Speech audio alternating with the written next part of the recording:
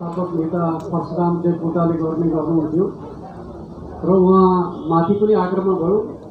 र त्यो कार्यालयमा बसिरहेको बखतमा पदम प्रसाद रेग्मी यी भोगरियाको हाम्रो आदरणीय दाजु हुनुहुन्छ उहाँमाथि पनि आक्रमण भयो। मेरो आफ्नै सहोदर दाजु जनार्दन पोखरेल पनि त्यो आक्रमणको पर्नुभयो। र एक प्रकारले भन्दै भने